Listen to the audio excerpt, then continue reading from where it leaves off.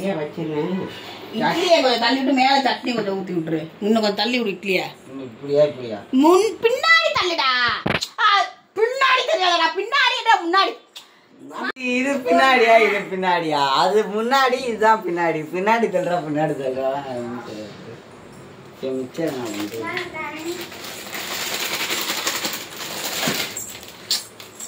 கத்திரிக்கோள்